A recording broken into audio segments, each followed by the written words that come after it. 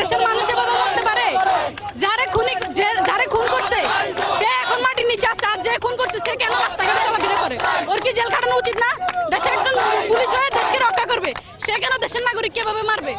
তাকে অধিকার দিচ্ছে কে দেশের নাগরিককে মারার? স্টুডেন্টকে মারার অধিকার দিচ্ছে কে? দেশের স্টুডেন্টরা আন্দোলন করবে, বিভিন্ন কিছু করবে। সেটা ক্ষমতা তাদের আছে। সেটার বিচার তাদের তারা সরকার করবে। সরকার চুপ করে আছে। দেশের সাধারণ পুলিশ কেন সাধারণ জন- জন- ইয়ার জনগণকে এভাবে মারতেছে শিক্ষার্থীদের আমরা বাস করি আমাদের মত প্রকাশের অধিকার আছে। আমাদের যদি মনে হয়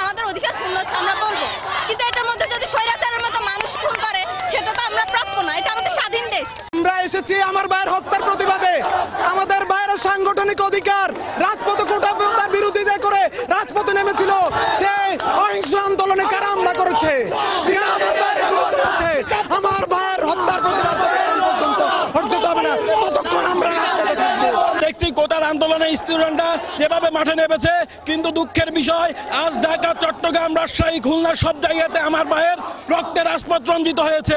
তাদের রক্ত দিয়ে রাজপথ রঞ্জিত হওয়ার কারণে বাংলার শিক্ষার্থীরা ঘরে বসে থাকবে না। সাধারণ শিক্ষার্থীরা তাদের অন্যায়, অন্যায়ের প্রতিবাদে রাস্তায় নামবে। রক্ত যত দিয়েছি, আমরা রক্ত আরও দেবো।